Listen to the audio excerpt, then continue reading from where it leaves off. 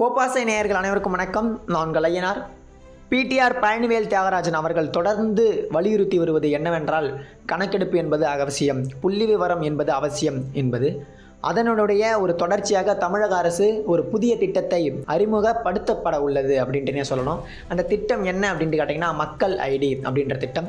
அதை பற்றி தான் நம்ம இன்றைக்கி பார்க்க போகிறோம் இது வரைக்கும் நம்ம சேனலை நீங்கள் சப்ஸ்கிரைப் பண்ணலாம் சப்ஸ்கிரைப் பண்ணிவிடுங்க தொடர்ந்து நம்ம கோபாசே சேனலோட இணைந்திருங்கள். இது குறித்தான உங்களுடைய கருத்துக்களை நம்மளோட கீழே கமெண்ட் பாக்ஸில் கமெண்ட் பண்ணுங்கள் அப்போ மக்கள் ஐடி அப்படின்ற திட்டம் என்னவா இருக்குது அப்படின்ட்டு பார்த்தீங்கன்னா நம்ம இது வரைக்கும் வச்சுருக்க கார்டு என்னவா இருக்குது அப்படின்ட்டு பார்த்தீங்கன்னா ஆதார் கார்டு தான். ஆதார் கார்டு அப்படின்றது ஒரு நேஷ்னல் நேஷ்னல் லெவலுக்கான ஒரு கார்டாக இருக்குது நம்ம இந்திய குடிமகன் அப்படின்ட்டு காட்டுறதுக்கு ஒரு பொதுவான கார்டாக இங்கே இருக்கிறவங்களுக்கும் இருக்கும். தமிழ்நாட்டில் இருக்கிறவங்களுக்கும் இருந்தாலும் சரி இல்லை அங்கே மேற்குவங்கமாக இருந்தாலும் சரி இல்லை அசாமாக இருந்தாலும் சரி ஒடிசா எங்கே இருந்தாலும் எல்லாருக்கும் ஆதார் கார்டு அப்படின்றது ஒரு நேஷ்னல் கார்டாக இருக்குது இப்போ இந்த மக்கள் ஐடி அப்படின்ற திட்டம் என்னவா இருக்குது அப்படின்ட்டு பார்த்தீங்கன்னா இங்கே தமிழ்நாட்டில் இருக்கிற தமிழர்களுக்கு மட்டுமான ஒரு கார்டாக வந்து தமிழக அரசு ஸ்டாலினுடைய அரசு அறிமுகப்படுத்தப்பட உள்ளது அப்படின்ட்டுனே சொல்லணும். அப்போ இந்த கார்டு என் எதற்காக அப்படின்ட்டு கேட்டிங்கன்னா பல பேர் இங்கே தமிழகத்தில் வலியுறுத்தி வருவது என்னவென்றால் இப்போ வடமாநிலத்திலேருந்து இங்கே புலம்பெயர்ந்து வராங்க இங்கே தங்குறாங்க. அப்போ அவங்களும் வந்து அவங்களும் நம்மளும் ஒன்றா இருக்கோம். அப்போ அது மட்டும் இல்லாமல் அவங்க இங்கே அரசியல் ஆதிக்கம் செலுத்துறதா இருக்கட்டும் இல்லை மற்றபடியான விஷயங்களாக இருக்கட்டும் நலத்திட்ட உதவிகளாக இருக்கட்டும் எல்லாமே அவங்களுக்கும் கிடைக்குது நமக்கும் கிடைக்குது. அப்போ இதன் மூலயமாக தமிழக அரசிற்கு லா மிகப்பெரிய லாஸ் ஏற்படும். ஏன்னு கேட்டிங்கன்னா இப்போ ஒரு சின்ன எக்ஸாம்பிள் சொன்னோம்னா ஏதோ ஒரு திட்டத்தை தமிழக அரசு செயல்படுத்துதுன்னு வச்சுக்கிங்க இப்போ தமிழகத்தில் உள்ள மக்களுக்கு. அதில் அங்கே வடமாநிலத்திலிருந்து வந்த மக்களுக்கும் அது வந்து பயன்பெறும் வகையில் இருந்துச்சுன்னா இல்லை அவங்களுக்கும் போகும்னு பார்த்தீங்கன்னா இவங்க ஒரு எஸ்டிமேட் போட்டு வச்சுருப்பாங்க இந்த இத்தனை கோடி தான் அப்படின்ட்டு. அப்போ அதை தாண்டி பட்ஜெட் போகும்.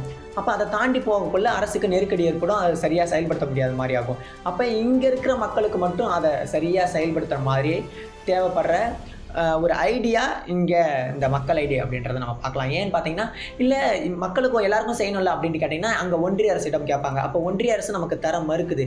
அதன் காரணமாக தான் இந்த மக்கள் ஐடி அப்படின்ற திட்டம் வந்து உருவாக்கம் பெறுகிறது இதுக்கு வந்து பாஜக வந்து கடும் எதிர்ப்பு தெரிவிக்கிறாங்க. ஏன்னு கேட்டிங்கன்னா இது வந்து நீங்கள் ஆதார் கார்டுக்கு எதிராக கொண்டு வரீங்க அப்படி இப்படின்ட்டு.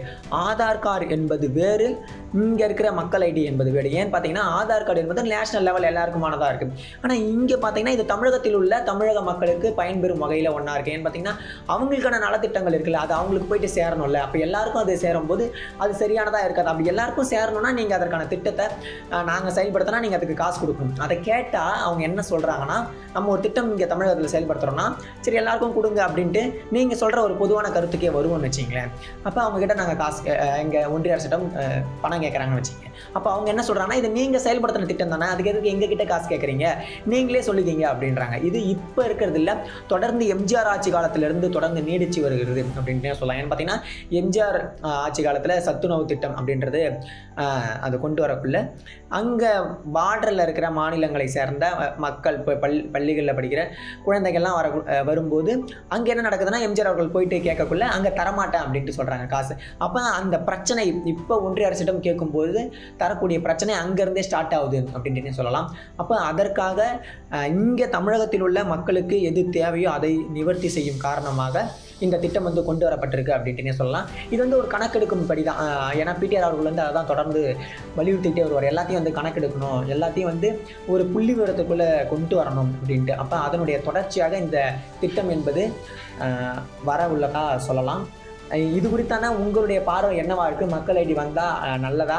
இல்லை இது வருவதன் மூலமாக உங்களுக்கு எதனா தீங்கு ஏற்படுமா அப்படின்றத உங்களுடைய பார்வையில் நம்மளுடைய கமெண்ட் செக்ஷனில் கமெண்ட் பண்ணுங்கள் தொடர்ந்து நம்ம கோபாசே சேனலோட இணைந்திருங்கள். அப்படியே நம்ம கோபாசே சேனலை சப்ஸ்கிரைப் பண்ணிவிடுங்க நன்றி வணக்கம்.